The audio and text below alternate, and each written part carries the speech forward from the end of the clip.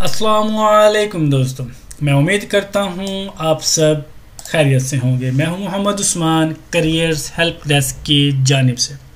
आज की वीडियो में मैं आप लोगों के साथ एक्सप्लेन करूँगा कि आप लोग का स्कॉलरशिप 2021 में कैसे अप्लाई कर सकते हैं। हो सकता है आपने स्कॉलरशिप को फ़र्स्ट टाइम सुना हो, क्योंकि जर्मनी का जो स्कॉलरशिप है, वो दाद के नाम से ज़्यादा फ़ेमस है। तो फुली फंडेड स्कॉलरशिप है study in Germany international students पूरी दुनिया से स्कॉलरशिप के लिए अप्लाई कर सकते हैं। आप लोग मास्टर्स या एम फिल पी और पोस्ट डॉक रिसर्च के लिए स्कॉलरशिप के लिए अप्लाई कर सकते हैं। और किसी फ़ील्ड की या किसी भी ऐसी फ़ील्ड की रिस्ट्रिक्शन नहीं है जिसमें आप अप्लाई ना कर सकते हो। तो आप एनी फ़ील्ड ऑफ़ स्टडी जिस फ़ील्ड से भी आप बिलोंग करते हैं, आप इस स्कॉलरशिप में अप्लाई कर सकते हैं। जो स्कॉलरशिप की वैल्यू होगी, वो फुली फंडेड स्कॉलरशिप है। फुली फंड से मुराद ऐसे भी है कि जर्मनी में वैसे भी एजुकेशन फ्री है। तो आपके जो एक्स्ट्रा एक्सपेंसेस होते हैं, वो आपको स्कॉलरशिप में कवर कर दिए जाते हैं। इस स्कॉलरशिप की डेडलाइन ओपन होती है थ्रू आउट द ईयर आप किसी भी वक्त स्कॉलरशिप में अप्लाई कर सकते हैं तो इसकी कोई स्पेसिफिक डेडलाइन नहीं है। तो इसको अप्लाई करने का जो प्रोसीजर्स है, वो करियर्स हेल्प डेस्क जो वेबसाइट है, वहाँ पे ऑलरेडी अपडेटेड है। लेकिन चलते हैं वेबसाइट पे ताकि मैं आप लोगों को एक्सप्लेन कर सकूँ, क्या एलिजिबिलिटी क्राइटेरिया है, क्या रिक्वायरमेंट है और आप लोग कैसे उसमें अप्लाई कर सकते हैं। तो चलिए चलते हैं करियर सेल्फडेक्स डॉट कॉम पर तो आपने इस वेबसाइट पे आना है। जैसे इस वेबसाइट पे आएँगे तो आपको मल्टीपल जो है लेटेस्ट स्कॉलरशिप्स यहाँ पे मिलेंगे। आप यहाँ से भी सर्च कर सकते हैं, इसके बेल आइकन पे भी क्लिक कर दीजिएगा।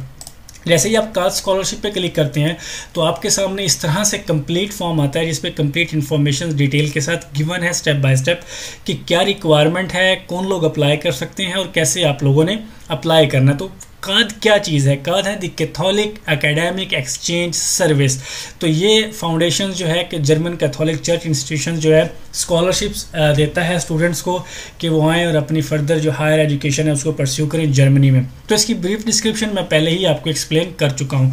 काद स्कॉलरशिप है जर्मन यूनिवर्सिटी है एनी फ़ील्ड ऑफ़ स्टडी है masters P H D post doc है इंटरनेशनल स्टूडेंट्स में अप्लाई कर सकते हैं। तो जो मेन यहाँ पे एलिजिबिलिटी क्राइटेरिया जो मेन इसके अंदर चीज़ है, वो ये के इंटरनेशनल स्टूडेंट होने चाहिए। कहाँ से होंगे? Africa, Asia middle east and the Latin America एक किस्म का पूरी दुनिया ही आ जाती है इंटरनेशनल स्टूडेंट्स यहाँ पे अप्लाई कर सकते हैं। सेकेंड इसकी रिक्वायरमेंट क्या है कि आपके पास जो है आपकी डिग्रीज होनी चाहिए और आपके पास प्रोफेशनल एक्सपीरियंस भी होना चाहिए। एक्सपीरियंस की यहाँ पर कोई लिमिटेशन नहीं है, ना ही कोई रिक्वायरमेंट बताई गई है कि आपके पास कितना होना चाहिए। तो जितना भी आपका एक्सपीरियंस होगा अदर वो इंटर्नशिप है अदर वो ट्रेनिंग इंजीनियर है अदर वो अप्रेंटशिप है, या रेगुलर आप एम्प्लॉय हैं तो आपको वो हेल्प आउट करेगा। अगर आप मास्टर्स के लिए अप्लाई कर रहे हैं तो आपके पास बैचलर की डिग्री होनी चाहिए। अगर आप पीएचडी के लिए अप्लाई कर रहे हैं देन आपके पास मास्टर्स की डिग्री होनी चाहिए। मास्टर्स मीन एम फिल अगर आप पोस्ट डॉक के लिए कर रहे हैं तो ऑब्वियसली बात है तो आपके पास जो है पीएचडी होनी ही चाहिए। यहाँ पे जो मेन इंपॉर्टेंट बात जो आप लोगों को शायद कंफ्यूज करे, वो ये कि आर कैथोलिक क्रिश्चियन ये अगर आप हैं क्रिश्चियन हैं तो वेल एंड गुड अगर आप नहीं हैं तो बाकी जो अदर रिलीजन है candidate from other religions can also apply आप लोग इसमें अप्लाई कर सकते हैं, ये कोई बड़ा वो प्रोसीजर्स नहीं है कि आप समझें कि ओ हम लोग तो अप्लाई ही नहीं कर सकते। तो लैंग्वेज रिक्वायरमेंट के अंदर यहाँ पे लिखा हुआ है possesses German language skills before starting the studies will can provide a language course of maximum six month कि आपके पास जर्मन लैंग्वेज सर्टिफिकेट होना चाहिए। अगर नहीं है तो आपको ये स्कॉलरशिप जो फाउंडेशन है, वो सिक्स मंथ्स के लिए आपको जर्मन लैंग्वेज भी पढ़ाएगी या आपको इंस्टीट्यूशन में फ़ंड करेगी कि वो आपको जर्मन लैंग्वेज सिखाएँगे। तो ये बड़े इंपॉर्टेंट पॉइंट थे इसके लिए। अगर आप इसमें फुलफ़िल करते हैं कि जी हाँ ये एलिजिबिलिटी क्राइटेरिया तो बड़ा आसान सा है और मैं इसको जो है ना मीट करता हूँ तो देन आपने अप्लाई करना है। फ़ील्ड ऑफ़ स्टडीज़ आपको बता दी गई हैं। कोई फ़ील्ड ऑफ़ स्टडीज़ यहाँ पे कोई रिस्ट्रिक्शंस नहीं है। किसी फ़ील्ड के बारे में, किसी भी प्रोग्राम के बारे में आप किसी के लिए भी अप्लाई कर सकते हैं। तो नेक्स्ट प्रोसीजर आता है हाउ टू अप्लाई क्योंकि आपने देख लिया कि मैं हर चीज़ को मीट कर रहा हूँ या कर रही हूँ तो अब अब पॉइंट आता है कि आपने एप्लीकेशन को सबमिट कैसे करना है। तो पॉइंट को सबमिट करने के लिए एप्लीकेशन को सबमिट करने के लिए आपने इस लिंक पे क्लिक करना है। ये सिंपल एप्लीकेशन फॉर्म है। आप कह सकते हैं ये क्वेश्चन है कि आपकी जस्ट फ़र्स्ट इवेल्युएशन है, आप सेंड करेंगे। अगर आपकी इवेल्युएशन होती है देन आपको फर्दर प्रोसीजर्स थ्रू ईमेल जो है बताया जाता है। तो इस लिंक को मैं बताता हूँ कि आपने कैसे करना, उससे पहले आगे चलते हैं। डॉक्यूमेंट्स रिक्वायरमेंट में कोई ऐसे डॉक्यूमेंट्स नहीं, जैसा कि बताया कि ये एक जनरल क्वेश्चन है। अगर आप उसको इवेल्युएट कर मतलब अगर आपकी एप्लीकेशन उस इवेल्युएशन में सक्सेसफुल हो जाती है देन आपको फर्दर प्रोसीजर्स के लिए इन्फॉर्म किया जाएगा। बेनिफिट्स की बात करें तो फुली फंडेड स्कॉलरशिप होता है। जैसा कि बताया कि जर्मनी के अंदर एजुकेशन फ्री होती है, आपको कुछ पे करने की ज़रूरत नहीं होती। तो जो बाकी एक्सपेंसेस होते हैं, वो आपको स्कॉलरशिप के ज़रिए कवर कर दिए जाते हैं। तो ये स्कॉलरशिप आपको उतना ही स्कॉलरशिप प्रोवाइड करेगा, जो दूसरे गवर्नमेंट स्कॉलरशिप जर्मनी में इंटरनेशनल स्टूडेंट्स को दिए जाते हैं। फॉर एग्ज़ाम्पल दाद या कोई और जो भी है। अगर आप ऑफिशियल अनाउंसमेंट देखना चाहते हैं तो आप इस लिंक पे क्लिक करके ऑफिशियल अनाउंसमेंट देख सकते हैं कि स्कॉलरशिप क्या चीज़ रिक्वायर्ड है, कैसे अप्लाई करना है, क्या वो एक्सपेक्ट करते हैं। तो ये वही चीज़ें हैं जो मैंने वहाँ पे बताई हैं। आप इनको रीड कर सकते हैं और ये वही एप्लीकेशन पोर्टल है जो हमने उस लिंक पर क्लिक करने के बाद हम यहाँ पे आए। और इसके अलावा एट दी एंड जनरल कुछ भी नहीं है। यहाँ पे आके आपकी एप्लीकेशन ख़त्म हो जाती है और website Facebook group Facebook page YouTube इसको भी ज्वाइन कर लीजिएगा ताकि आप तक इन्फॉर्मेशन पहुँच सके। तो अब हम आते हैं इस क्वेश्चन ईयर पर कि आपने इस क्वेश्चन ईयर को कैसे फिल करना है। ये बहुत ही आसान है। यहाँ पे लिखा हुआ है सर नेम फ़र्स्ट नेम यहाँ पे कन्फ्यूज़न होती है। वो ये कि आपका जो, जब आप पासपोर्ट इंटरनेशनल लेवल पे बात करते हैं तो आपका सेकंड नेम फ़र्स्ट होता है। मींस जैसा कि सर नेम है, मेरा नाम मोहम्मद उस्मान।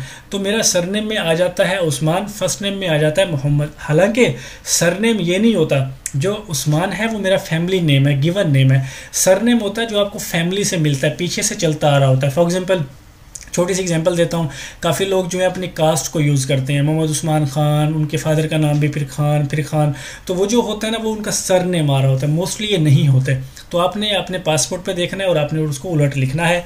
आपका जेंडर जो भी है मेल फीमेल आपकी एज कितनी है, आपकी रिलीजियस एफिलिएशन जो जिससे भी आप ताल्लुक़ रखते हैं शिया, सुन्नी, मुस्लिम क्रिश्चियन जो भी है more specific information about religious group अगर आप देना चाहते हैं स्पेसिफिक इन्फॉर्मेशन कुछ ऐसी जो आपको लगता है कि ये मुझे एक्सप्लेन करनी चाहिए। फॉर एग्जांपल अपने रिलीजन के बारे में कि आपका रिलीजन क्या कहता है इंटरनेशनल कम्युनिटी के लिए सोशल कम्युनिटी के लिए या अदर रिलीजन्स के बारे में तो आप वो उसको बता सकते हैं ताकि वो इम्प्रेसिव हो।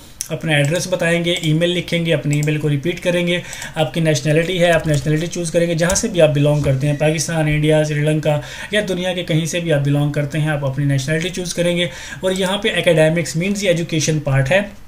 एग्जाम्पल्स आपको यहाँ पे दी गई हैं। आपने अपनी डिग्रीज़ के बारे में बताना है, कौन सा लेवल है? एमए है अपने एमएससी की है पीएचडी की है, जो भी की है, कौन सा सब्जेक्ट था वो बताएँगे, फिर अपने ग्रेड्स बताएँगे या परसेंटेज बताएँगे, जो भी आपका है तो आपने वो सारी यहाँ पे अपनी एजुकेशन को बताना है। आप सेक्शंस भी बना सकते हैं इजीली यहाँ पे खुद ही करके फॉर एग्जांपल आप बताएँगे कि जी बीएस है, फिर आगे आप इसके लिख सकते हैं। जी सब्जेक्ट आप बताएँगे for example engineering chemical engineering है।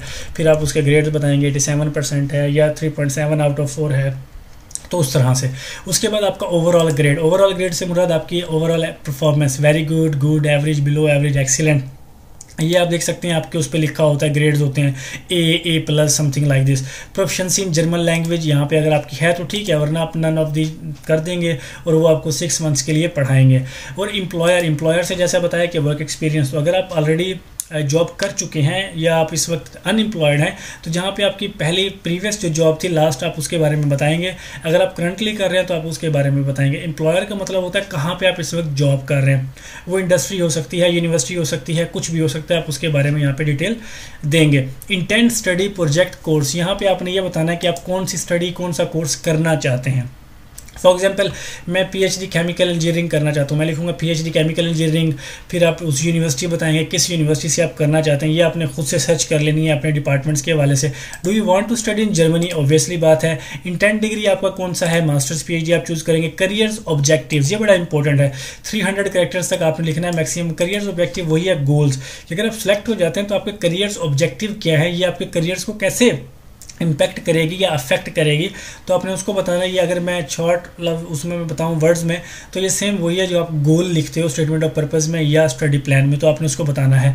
अप्लाइंग ऑन दी रिकमेंडेशन किसने रिकमेंड किया आपको स्कॉलरशिप में अप्लाई करने के लिए तो आप वो बता सकते हैं कंपलसरी नहीं है, कोई भी हो सकता है।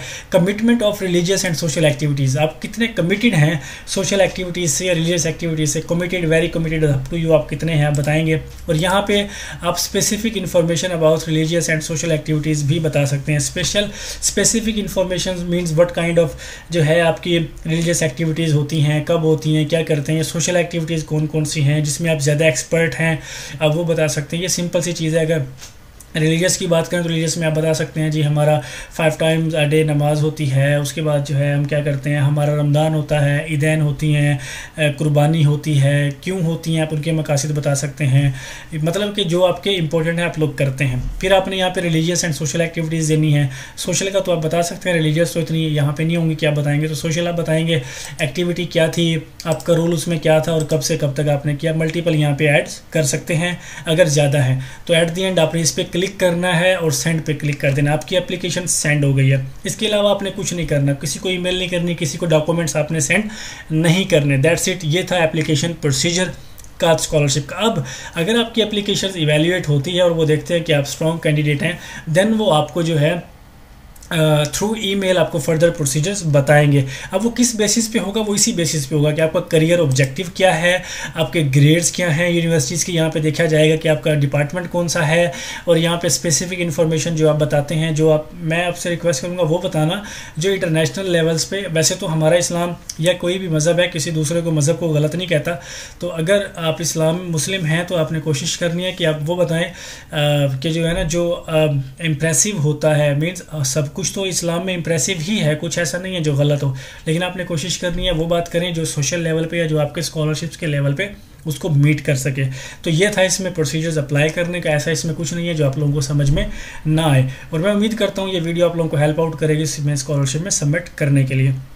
तो एट दी एंड आप लोगों से बस यही रिक्वेस्ट होगी कि करियर सेटब्लैक्स वेबसाइट को सब्सक्राइब करें यूट्यूब चैनल को सब्सक्राइब करें और अगर कोई प्रॉब्लम आती है, आपको कुछ कन्फ्यूज़न हैं, कुछ क्वेश्चन हैं तो ये फेसबुक ग्रुप हमारा ज्वाइन कर लें क्योंकि यहाँ पर काफ़ी सारे लोग हैं जो आपको बता सकते हैं। समटाइम्स मैं बिज़ी होता हूँ, मैं रिप्लाई नहीं कर पाता तो आप इस ग्रुप को ज्वाइन कर लें और अपनी क्यूरीज आप यहाँ पे पूछ सकते हैं। और आज मैं मल्टीपल स्कॉलरशिप्स की वीडियोज़ अपलोड करने वाला हूँ वन बाय वन तो टच में रहिएगा क्योंकि यहाँ पे देख सकते हैं आप काफ़ी सारे स्कॉलरशिप्स अपलोड हुए हुए हैं, लेकिन वीडियोस बहुत कम है और स्टूडेंट्स को प्रॉब्लम आ रही हैं।